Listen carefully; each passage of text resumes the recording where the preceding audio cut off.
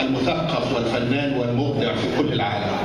أرجو أن تكون هذه الرسالة هي رسالة ثقافية ورسالة فنية ورسالة إنسانية بالدرجة الأساسية. وعلى الرغم من ذلك فإنها رسالة سياسية. سياسية أيضا. نحن نعيش السياسة بمفرداتها كل يوم. فقد تدخلت السياسة في حياتنا بكل تفاصيلها. فالعلاقة بين هذه الأمور علاقة عضوية مرتبطة ببعضها أردنا أن نقدم رسالة إلى ضمير الفنان والمثقف في العالم. أننا في وطن يتعرض إلى المداهمة. أننا في وطن يتعرض إلى المخاطر. وأن الرسالة التي تصل إلى العالم في كثير من الأحيان تحتاج إلى توضيح.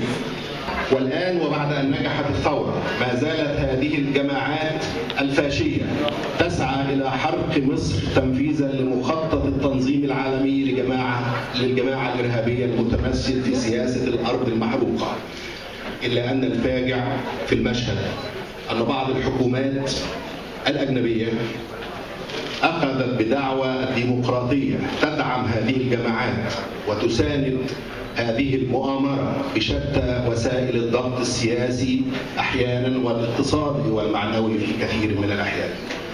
مما أدى إلى استقواء هذه الجماعة الإرهابية ظنا منها أنها قادرة على كسر إرادة الشعب المصري وإيقاع الدمار والخراب والهزيمة للدولة المصرية العريقة. بشكر السيد الوزير المحترم الدكتور محمد صبري عرب على هذه المبادرة وعلى هذه الدعوة. وعبر عن سعادتي بوجودي مع حضراتكم النهارده. فنانين وأدباء وكتاب وصحفيين كبار. وربما سأحاول في حدود الوقت أن أتحدث في قضية واحدة. ربما يكون لها علاقة بالسياسة. نحن نتحدث عن تحديات حدثت في مصر في مواجهة الفن والإبداع والثقافة. ولكن أعتقد أنه من المهم أن إحنا نتكلم في نقطة واحدة ربما يعني تمثل رسالة لكثير من المراقبين في الغرب وفي المجتمعات الأخرى الواقعة خارج مصر. يبدو أن البعض متصور أنه المشكلة في مصر هي مشكلة بين مشكلة بين فصائل سياسية. أو أو مشكلة بين أحزاب واتجاهات سياسية. وإن إحنا في السياسة متفقين إنه مفيش نظام سياسي خالد ومصر بعد ثورة 25 يناير مفيش رئيس هيقعد 20 ولا 30 سنة ولا في جماعة ممكن تحتكر السلطة والدولة. الصراع في الحقيقة اللي حصل في مصر ما هواش صراع حوالين نظام سياسي والأمثلة اللي قالها الدكتور صابر في بلدان أخرى أوروبا الشرقية وأمريكا الجنوبية وأسبانيا والبرتغال اللي شهدت حراك شعبي وشافت تحول ديمقراطي ودي تجارب يفهمها الغرب جيدا.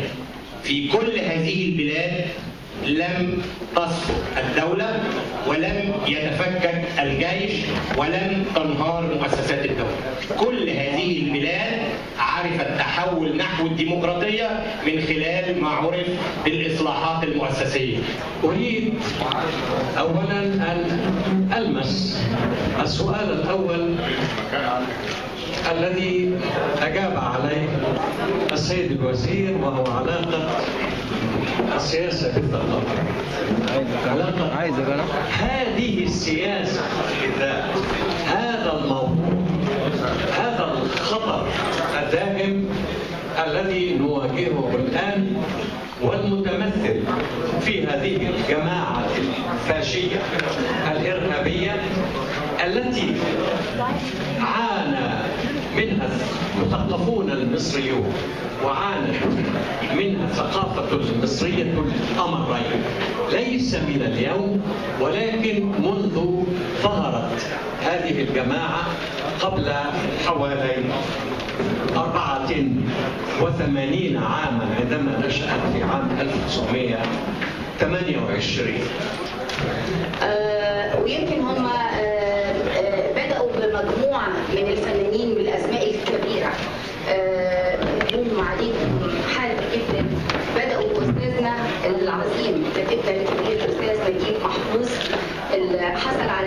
نوبل واللي بدل ما نتباهى فيه أمام العالم كله إن نجيب محفوظ كاتب عظيم مصري.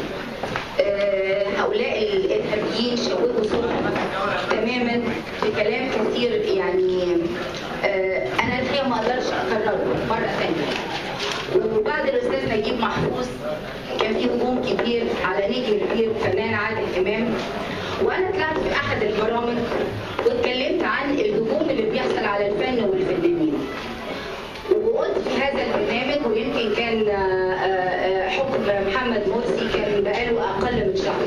قلت إن أنا لن أعترف هذه الجماعة إنها تحكم مصر وأنا غير معترفة بهذا الرئيس. أنا لم انتخبه وسئلت في البرنامج هل أنا خايفه على الفن في ظل وجود جماعة الاخوان المسلمين وكان ردي ان إحنا ما بنخافش وان إحنا هنوصل صوتنا من خلال فننا وسنستمر في طريقنا ولن نتاثر بوجودهم في حياتنا ولكن كان الامر ان الشعب أدرك في فترة من الفترات بعد ان مر عام أن الذي جلس على كرسي الحكم في الحقيقة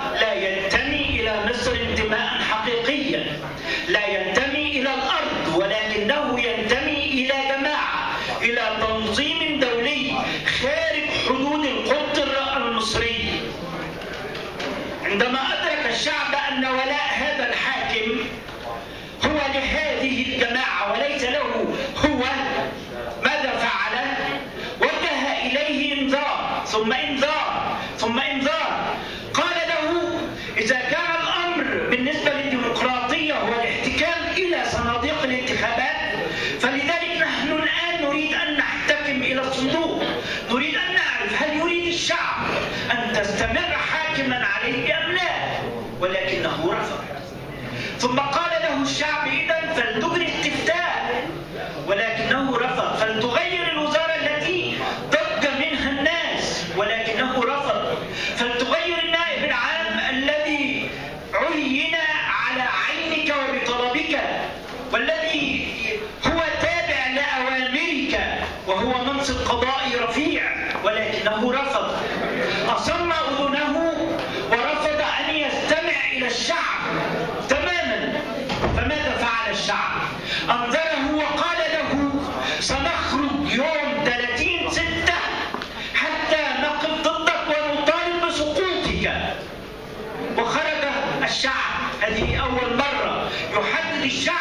فيها شعب من شعوب العالم. اليوم الذي سيخرج فيه ليعترض على الحاكم. ليست الديمقراطية مجرد صندوق فقط ولم تكن أبدا الديمقراطية هو الاعتماد على الصندوق. ولكن من الذي يصنع الصندوق؟ الذي يصنع الصندوق هو الشعب هو صاحب الصندوق.